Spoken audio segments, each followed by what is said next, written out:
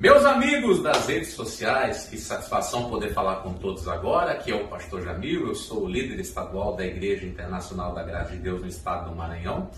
E eu estou aqui para apresentar para você uma amiga em Cristo, que é a nossa vereadora aqui, a Rosana da Saúde.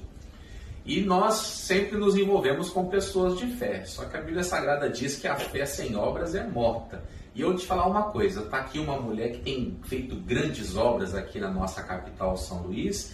E olha, vereadora, que alegria podemos estar aqui juntos. Eu quero que a senhora fale com os nossos amigos aí, porque a nossa intenção nesse momento é que o povo de Deus te conheça.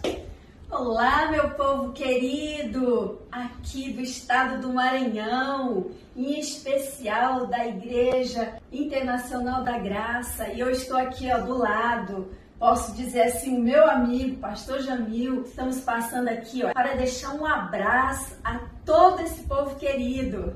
Amém. E pode ter certeza, vereadora, nós estamos juntos nessa caminhada aí para ajudar o povo de Deus e principalmente os maranhenses a terem uma vida digna, uma vida decente, né? O povo vai conhecer a nossa querida vereadora Rosana da Saúde. Ela é a minha candidata a deputado federal nessa eleição. E pode ter certeza, queridos, nós vamos com certeza apresentar muitos trabalhos bonitos que ela tem feito. Até aconselho você aqui, ó, pega aqui o Instagram dela aqui e vai seguindo para você conhecer mais dessa mulher de Deus e pode ter certeza você vai simpatizar com a causa que ela está representando. Deus abençoe a todos vocês. Um abraço.